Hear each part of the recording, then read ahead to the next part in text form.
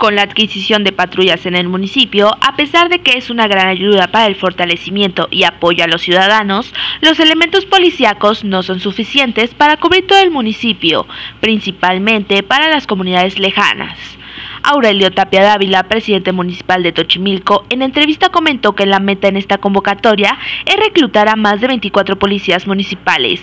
Actualmente en el municipio se cuentan con 20 aproximadamente, sin embargo no todos cuentan con la certificación correspondiente, únicamente 8 de 20 son los que tienen los documentos en regla. Certificados tenemos 8, pero en total estamos este, contemplando que son como 20 policías y si no, nuestra meta es esa, llegar a unos 20, 24 policías.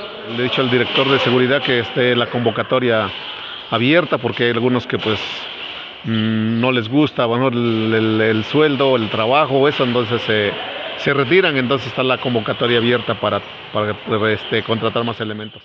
A pesar de esta situación, aún falta conocer los próximos resultados, en los cuales se estiman que al menos 12 de ellos estén acreditados. Esto para poder tener un mayor control y que la población tenga mayor confianza y así poder llevar seguridad a las comunidades lejanas. Y nos faltan, y nos faltan otros resultados todavía por recoger. Por recoger.